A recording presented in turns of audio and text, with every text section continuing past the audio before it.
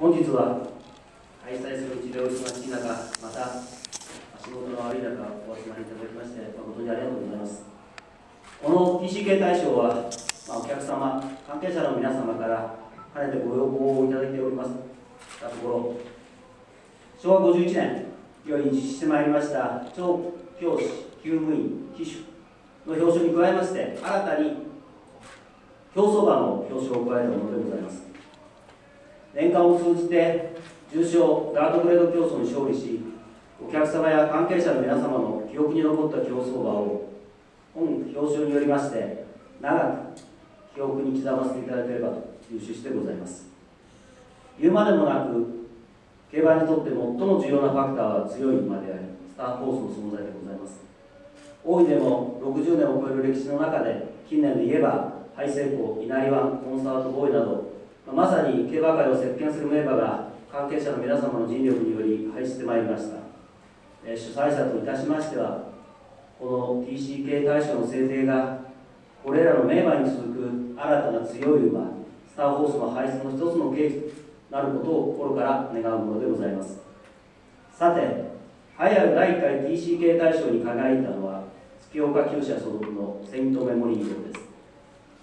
セイントメモリー号は昨年7戦5勝そのうち重賞3勝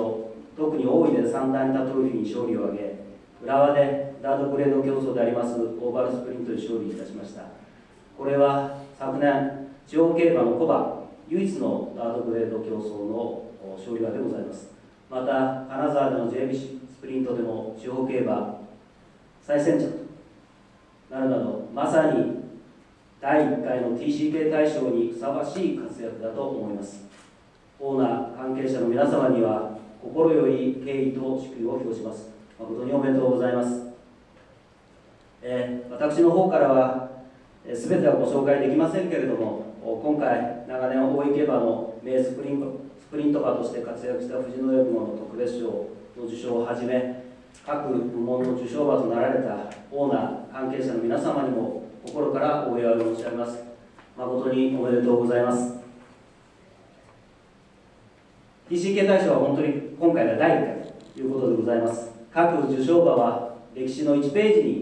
流し刻まれたということになります。今後のさらなる期待を記念いたします。そしてこの TCK 大賞が今回生まれたばかりでございますけれども回を重ねるにつれ大井競馬から多くの名馬が生まれそして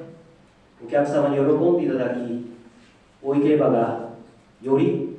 人気が高まることを願っておりますとともにそうした中でこの TCK 大賞というものがより質の高い格のあるものに育っていけばなというふうに心から思っている次第でございます。